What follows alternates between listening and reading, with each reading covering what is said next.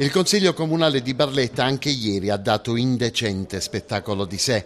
Ormai, come il circo di Moira Orfei, passato di recente in città, non delude mai le aspettative di chi vuole divertirsi o disperarsi nel vedere a che livello miserabile si è ridotto. Anche ieri è mancato il numero legale, anche ieri interi pezzi della maggioranza hanno boicottato l'amministrazione, non approvando un provvedimento importante anche per il proseguimento della consigliatura. Come il bilancio consuntivo in aula erano infatti presenti solo dieci consiglieri di maggioranza. Due consigli comunali fa sul bilancio di previsione 2016 accade la stessa cosa. Il sindaco fece le sue rimostranze dando ai partiti il consueto penultimatum. Noi dicemmo in tale circostanza che un fatto così clamoroso che avveniva dopo una lunga e stucchevole verifica e il rimpasto della giunta fatta secondo i desiderata delle forze politiche significava se non la morte almeno il coma della consigliatura. Predicemmo anche che nel successivo Consiglio si sarebbero presentati tutti approvando il bilancio per poi assentarsi a quello successivo, cosa puntualmente avvenuta.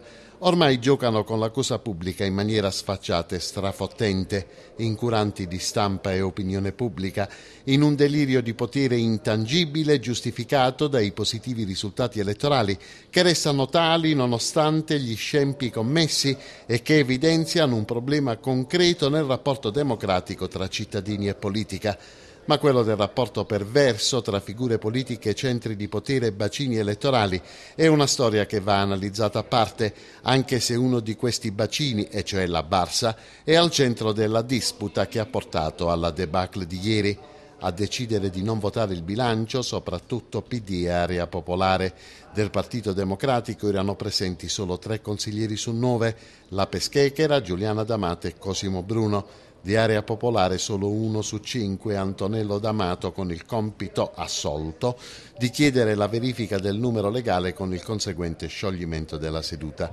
L'input per il boicottaggio ai loro consiglieri di riferimento nel PD che al solo schioccar delle dita si sono adeguati, lo avrebbero inviato i due consiglieri regionali Menni e Caracciolo e area popolare molto sensibile ai desiderata di quest'ultimo e che ha dei mal di pancia per suo conto si è adeguata.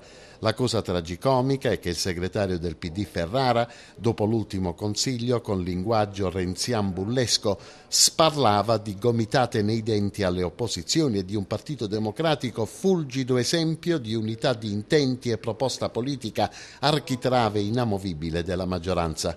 Un po' di prudenza non guasterebbe nella quasi certezza di essere smentiti nelle settimane successive. Dietro la levata di scudi, come dicevamo, la delibera con la quale saranno rinnovati gli appalti della Barsa e il conferimento ad essa anche del servizio di custodia e pulizia attualmente svolto dalla Pool Service Quest'ultimo, tra gli argomenti più spinosi, due le correnti non certo di pensiero ma di potere sì, tra chi chiede che siano assorbiti i lavoratori dell'attuale gestore e chi è contrario perché evidentemente conta di metterci i suoi.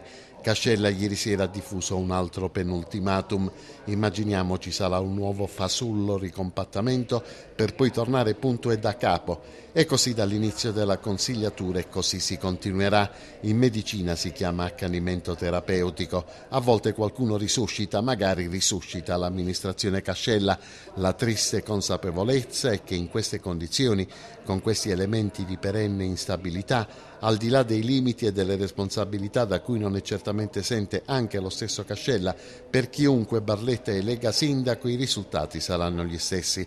Ormai non resta che tentare provando a eleggere Superman. Tarzan e come ultima carta Rocco Siffredi.